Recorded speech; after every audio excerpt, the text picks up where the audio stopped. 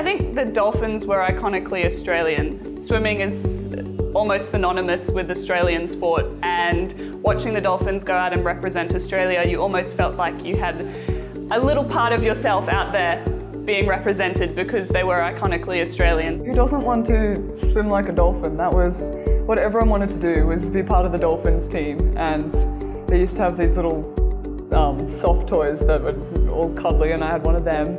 Uh, I think I think the biggest thing for me was growing up. I, I would train uh, in the same pool as Susie O'Neill and Kieren Perkins, and they always wore the Dolphins gear you know, back in sort of 96, 97, 98.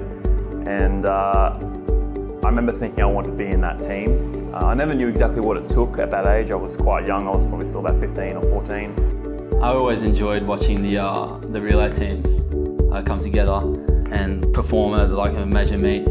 Uh, just those sort of memories, the 4x1 uh, freestyle relay at, at Olympics, that was probably the big one for me that really stands out.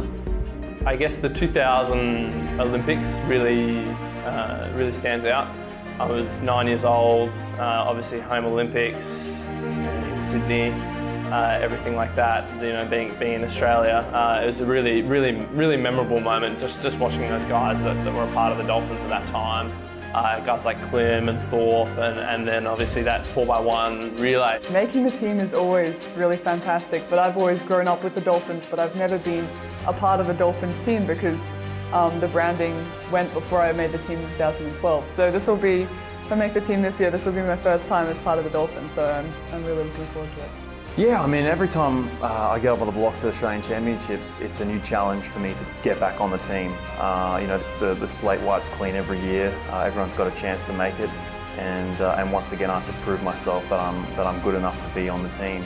It's uh, a very proud day when I get to step out and represent my country because I feel like I am taking uh, the weight of the nation on my shoulders.